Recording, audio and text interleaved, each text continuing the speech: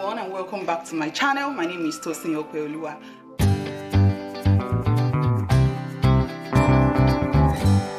I remember that when we were young, I don't know if parents still do that today. I see things changing and it seems uh, a lot of parents are, you know, young, uh, new generation mothers and parents generally, I guess things are changing and people are trying to train their children better. But sometimes in the 80s that I was growing, well, uh, most parents, when they are trying to deal with you, uh, they can ask you to put your two hands behind you and you'll be like, you have to put your head down, you have to bow your head, you have to, you know, show them some kind of respect when they are trying to maybe correct you for something. Most of the time, they don't even try to listen to what you have to say. So they just go ahead, say their own, and behold. Now, I will say that it's their understanding, and to them, that is love. And I want to tell you that uh, this have affected and damaged a lot of children's ego. You know, you're coming from outside, you are beating your child outside, you are beating your child in the presence of the of the neighbors, you are beating your child in the presence of the people around. I mean, you are damaging, damaging the child's ego because the way you treat your child is the way an outsider will help you treat the child. So if you keep insulting and abusing your child, it's always easier for an outsider to, to abuse your child as well. Whatever you say or whatever you do is telling other people how to treat you and how to treat your own child. So this will really affect the self-esteem of your children. I know a lot of parents, a lot of um, you know carers, uh, a lot of people who have children in their care generally, they might not understand the effect of this. But let me tell you something. At a point, you see people walk up into interview rooms. I've been privileged to intern with an HR firm where we run and run interview virtually every day.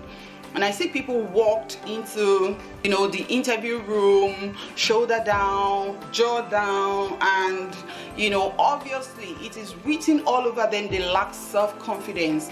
And sometimes even when you don't know how to do some things when you show up with a, a level of confidence and you're able to articulate whatever you think you can do you'll probably be considered for positions and even in organizations you don't show up with your proposal you know without a level of confidence.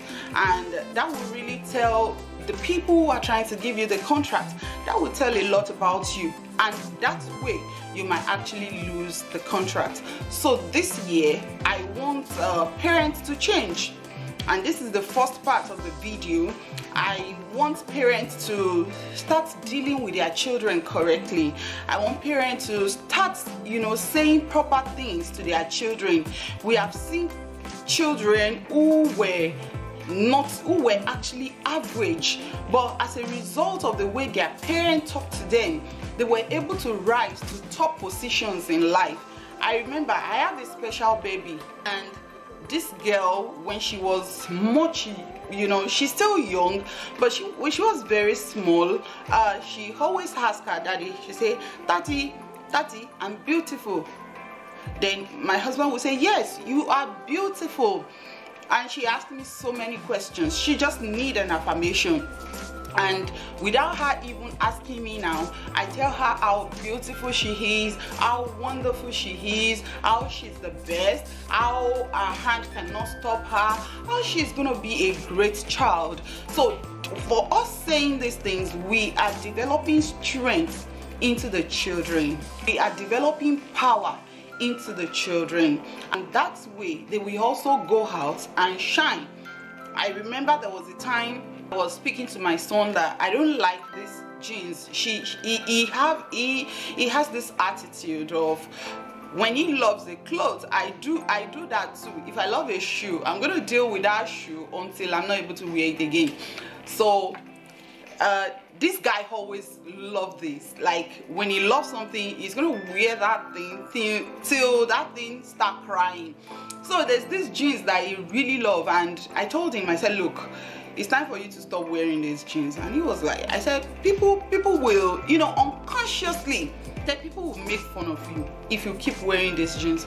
And he said hey then make fun of me now. Do i care?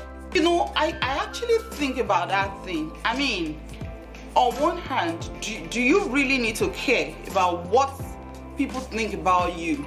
Now that's not where i'm going. That shows me a level of confidence a level of you know self-assurance a level of self-worth knowing that that jeans is not what made me you know. I have more in me that shows how great i am how powerful i am.